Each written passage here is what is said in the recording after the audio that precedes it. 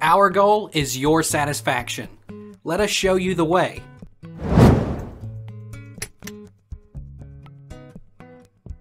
Can you sleep in a room with mothballs? And the answer to this question is yes, potentially.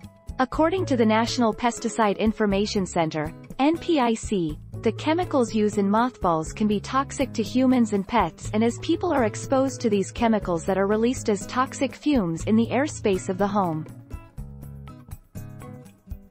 Where should I put mothballs in my house? To do so properly, place mothballs inside tightly closed containers along with the clothing or materials. The vapors will remain inside the container and kill the moths.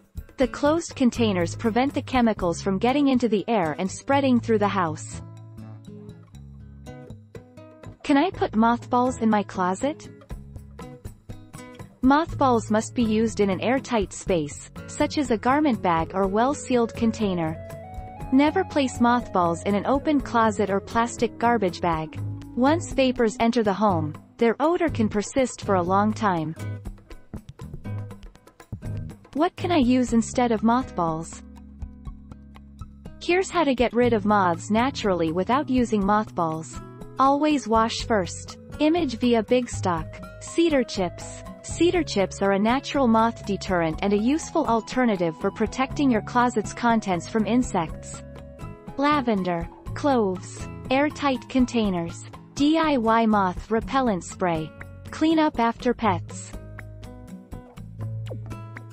How long do mothballs take to work? Mothballs get to work as soon as you place them in the area you wish to protect, and will work best in an enclosed area where the moths are trapped with the fumes. They can protect your clothing from moths and larvae for up to three months. How long do mothballs last? How long does it take for mothballs to dissipate? One mothball in open air takes 3 to 6 months to dissipate entirely. If you place the mothball underneath clothing or otherwise not in open air, it will take up to 12 months to completely dissipate. Take our lead. Let's help you make your mark.